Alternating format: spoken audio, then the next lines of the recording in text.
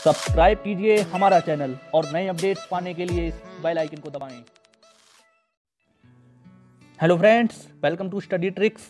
दोस्तों, आज की वीडियो में हम देखने वाले हैं भारत की विभिन्न कृषि क्रांतियाँ। तो दोस्तों, बहुत इंपॉर्टेंट टॉपिक है। इससे हमारे एग्ज़ाम में डायरेक्टली क्वेश्चन पूछ लिया जाता है। फ्रेंड्स बहुत ज़्यादा कन्फ्यूज़न रहता है स्टूडेंट को इसे याद करने के लिए। तो दोस्तों, आज इसे इसी के कलर के साथ मैच करके याद रखेंगे।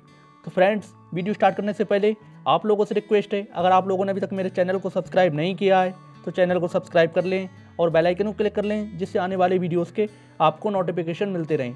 तो चलिए स्टार्ट करते हैं आज का वीडियो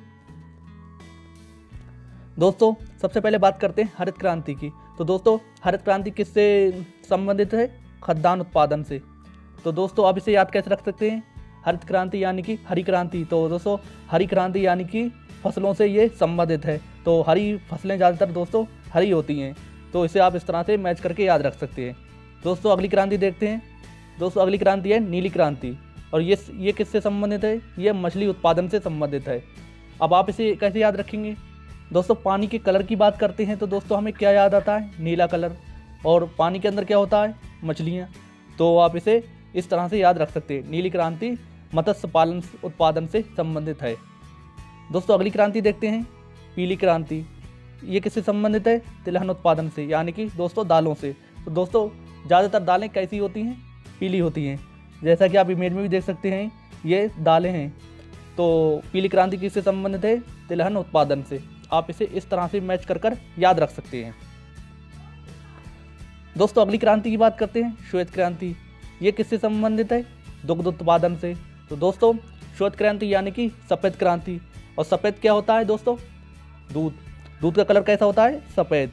तो आप इसे इस तरह से इसे मैच करके याद रख सकते हैं। श्वेत क्रांति दुग्ध उत्पादन से संबंधित है। दोस्तों, अगली क्रांति हम देखते हैं। भूरी क्रांति।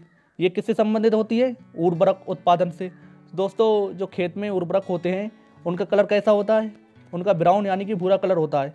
जैसा कि आप इसे इमेज में भी देख सकते हैं। तो हमारी भूरी क्रांति किससे संबंधित है?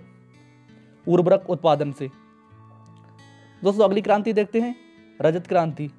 तो दोस्तों, रजत क्रांति किससे संबंधित है? अंडा उत्पादन से। अब दोस्तों, अंडे का इमेज देख लेते हैं। ये अंडे का इमेज है। दोस्तों, रजत कहते किसे हैं? रजत चांदी को कहते हैं। तो दोस्तों, जो चांदी का कलर कैसा होता है? कुछ अंडे की तरह होता है। तो फ्रेंड इसे आप इस तरह से मैच करके याद रख सकते हैं कि रजत क्रांति अंडा उत्पादन से संबंधित होती है। दोस्तों, कुछ और इम्पोर्टेंट क्रांति देखते हैं। दोस्तों, अगली क्रांति है हमारी कृष्ण क्रांति। तो कृष्ण क्रांति किससे हमारी संबंधित है? बायोडीजल उत्पादन से। तो दोस्तों, कृष्ण क्रांति को कहते क्या है? काली क्रांति। तो दोस्तों, ये किससे संबंधित होती है? बायोडीजल उत्पादन से। दोस्तों, बायोडीजल का कलर कैसा होता है? काला होता है। तो आप इसे इस तरह से भी मैच कर कर याद रख सकते हैं कि कृष्ण क्रांति बायोडीजल उत्पादन से संबंधित है। दोस्तों, अगली क्रांति देखते हैं। लाल क्रांति, ये किससे संबंधित होती है?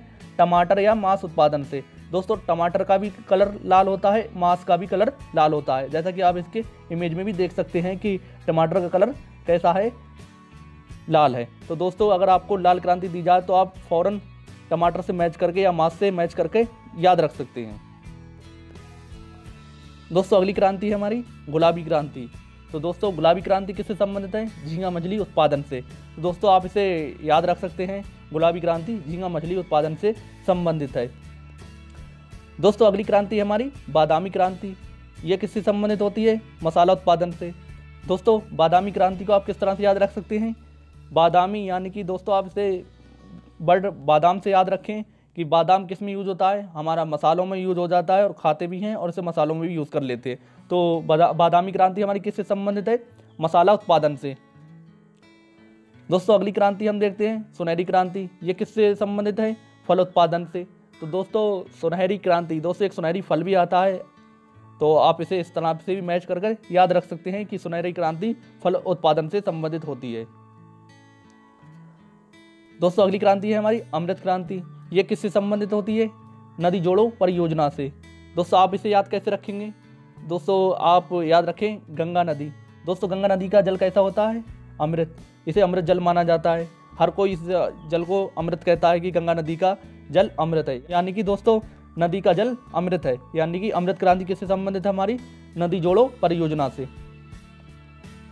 दोस्तों, कुछ इंपॉर्टेंट पॉइंट देख लेते हैं, जिससे हमारे एग्ज़ाम में क्वेश्चन पूछ लिया जाता है।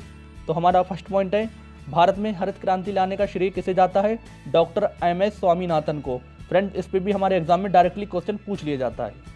दोस्तों, अगला पॉइंट देखते हैं। भारत में हरित क्रांति की शुरुआत उन्नीस सौ ईस्वी में हुई। ये भी हमारे एग्ज़ाम में क्वेश्चन पूछा हुआ है। दोस्तों, अगला पॉइंट है हमारा। तिलन प्रौद्योगिकी मिशन की स्थापना उन्नीस सौ छियासी ईस्वी में हुई। तो फ्रेंड्स इसे भी आप याद रख सकते हैं। तो दोस्तों, इस वीडियो में इतना ही। अगर वीडियो पसंद आई हो तो वीडियो को लाइक कीजिए शेयर कीजिए और कमेंट कर कर बताइए आपको वीडियो कैसा लगा। दोस्तों, हम मिलेंगे नई वीडियो में नई ट्रिक के साथ। तब तक के लिए हैव ए नाइस डे